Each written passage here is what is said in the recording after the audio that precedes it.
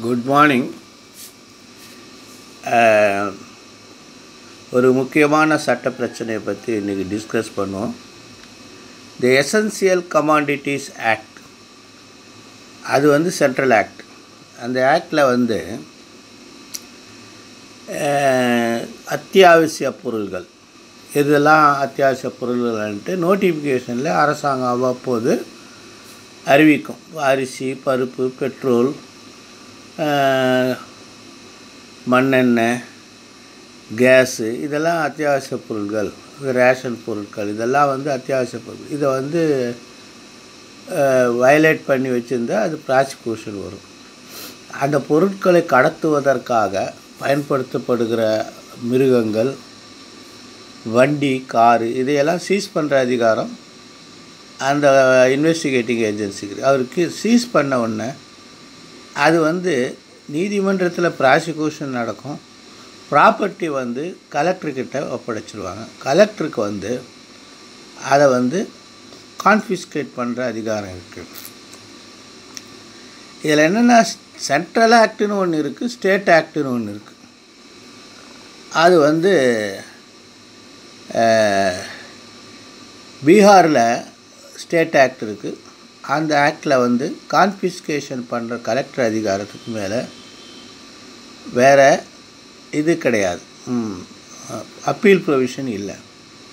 Central ஆக்டில் confiscate பண்ணால் அதுக்கு பதிலாக அதனுடைய மொத்த தொகையை செலுத்திட்டு அந்த கான்ஃபிஸ்கேஷன் உத்தரவை ரத்து செஞ்சுக்கலான்னு compounding natural enabling provision central ஆக்டில் இருக்குது சரி இது சம்பந்தமாக பாட்னா ஃபுல் பெஞ்ச் மூணு ஜட்ஜுகளை கொண்ட உயர்நீதிமன்ற நீதிபதிகள் முன்னாடி பல கேள்விகளோடு இந்த வழக்கு வந்து ரெஃபர் பண்ணாங்க.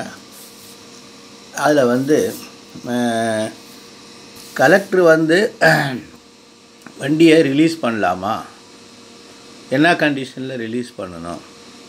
ஜுடிஷியல் பவருக்கும் எக்ஸிக்யூட்டிவ் பவரும் இண்டிபெண்ட்டாக இருக்கிறதுனால கலெக்டரோட அந்த அதிகாரத்தால் வழங்கப்பட்ட உத்தரவை உயர்நீதிமன்றம் கேன்சல் செய்யலாமா? அப்படின்னு. இது வந்து section D of the state ஆக்டில் வந்து டபுள் ஜோபாதி வருதா? அப்புறம் கோர்ட் வந்து கான்ஃபிஸ்கேஷனை ரிலீஸ் பண்ணுறத எந்த வகையில்? அதை வந்து ரத்து செய்யலாம். அது வந்து செப்பரேஷன் ஆஃப் எக்ஸிக்யூட்டிவ் பவரை இன்டர்ஃபியர் ஆகுதா?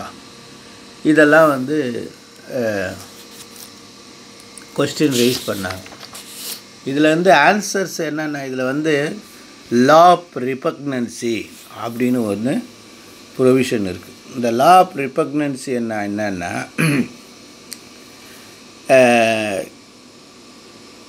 two forty five two forty six two fifty four இதெல்லாம் வந்து லா ஆஃப் வந்து டிஸ்கஸ் பண்ணுற கான்ஸ்டியூஷன் ஆர்டிகல்ஸ் இதில் வந்து அந்த சூப்பர் புல் பெஞ்ச் என்ன ஜட்ஜ்மெண்ட் கொடுத்துருக்காங்கன்னா மத்திய அரசு சட்டமும் மாநில அரசு சட்டமும்